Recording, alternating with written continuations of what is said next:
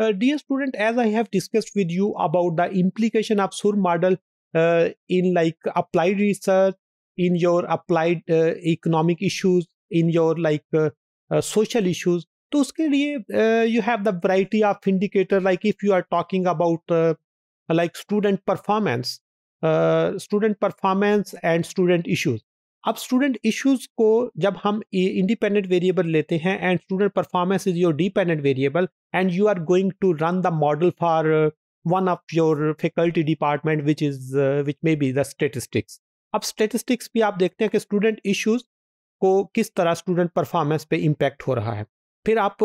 Economics में एक model apply करते हैं, जिसमें स्टूडेंट के इश्यूज़ एंड स्टूडेंट परफॉर्मेंस को हम रिग्रेस करते हैं। फिर आप सोशियोलॉजी डिपार्टमेंट को लेते हैं, जिसमें student issues and student performance को लेते हैं। फिर आप फिजिक्स डिपार्टमेंट के स्टूडेंट के इश्यूज़ को स्टूडेंट की परफॉर्मेंस पे रिग्रेस करते हैं। फिर इस तरह आप लाइक कोई सिक्स या सेवन डिफरेंट डिपार्टमेंट्स लेते हैं जिस तरह हमने लिया डिफरेंट फर्म्स लेते हैं डिफरेंट डिपार्टमेंट्स लेते हैं डिफरेंट सेक्टर्स लेते हैं। अब उसमें जो स्टूडेंट की जो परफॉर्मेंस है, इसके कुछ कॉमन इंडिकेटर्स होंगे, जो वहाँ पर उनके इश्यूज़ के अलावा होंगे like overall the environment of the university जिसको हमने एरर में ऐड कर दिया हुआ है। इसी तरह हम देखेंगे कि overall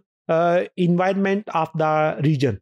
इस तरह हम उसको डिस्कस करेंगे about the overall health of the economy हम इन्वायरमेंटल uh, फैक्टर्स उसमें ऐड कर लेंगे। हम बिहेवियरल फैक्टर ऐड करेंगे। ये सारे कॉमन होंगे। जब हम डिफरेंट मॉडल उन पे अप्लाई करेंगे लाइक सिक्स डिपार्टमेंट को लेते हैं उनके सिक्स मॉडल रन किए उनके एरर को रिलेट करेंगे इसलिए वहाँ पे best model is SUR In the same pattern, they have applied the SOAR model on Nigerian economy, in which they have selected the agriculture sector, they have selected the services sector, उस पर उन्होंने काम किया है manufacturing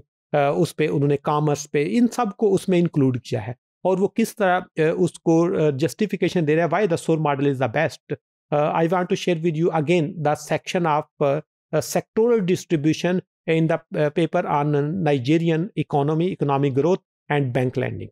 Yes, dear student, this is again the research paper and in table 1, you have the sectoral distribution of uh, your data in all in total and uh, five subsector, which is your agriculture, number one. In first column, you have the years. In second one, you have the agriculture. In third one, you have the industry, real estate and construction, general commerce and services sector और total को उसने ले लिया हुआ है और उसकी basis पे they have the sectoral distribution किस तरह कौन कौन सा सेक्टर कितना कंट्रीब्यूट कर रहा है? Like agriculture major sector with 53 percent industry like with only six percent number four you have the commerce which is eight percent and so तो इस तरह आप इनको, इसमें इंक्लूड कर सकते हैं। इसी तरह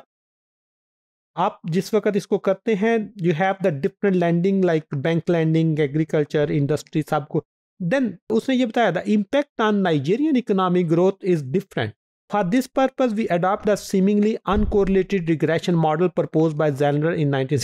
SUR system consist of several individual relationship that are link by the reason of their disturbance is being correlated और क्यों कोरिलेट करते हैं? ये शुरू में उसने इंट्रोडक्शन में बताया था